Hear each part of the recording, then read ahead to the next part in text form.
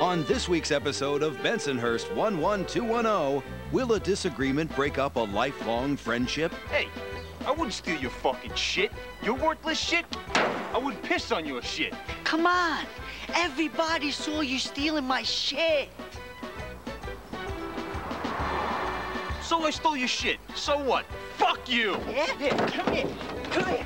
Dan, I hate when they fucking argue like this. Come on, come on, come on. What are you. You gotta worry about Yeah, maybe problem. I am, all right? Shut the fuck up, all right? Come wake it up. Come. In Bensonhurst, the lines are drawn. This is bullshit.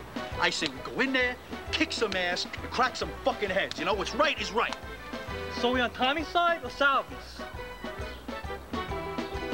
I don't know. Things escalate to dangerous levels. That's it. I say we blow up his fucking car, his fucking house, his whole fucking block. Let's do it. Yeah. Yeah, yeah. Salvi, don't you live on that block? Oh, that's right. Fuck. But somehow, the Bensonhurst kids always iron out their differences. Come here, you little shit! Asshole number one, shake hands with asshole number two, or I'll break your fucking heads. Shake or I'll cut your fucking hands off and shake it for you.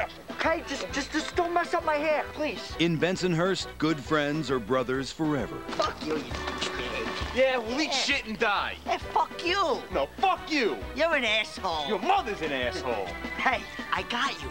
My mother's dead.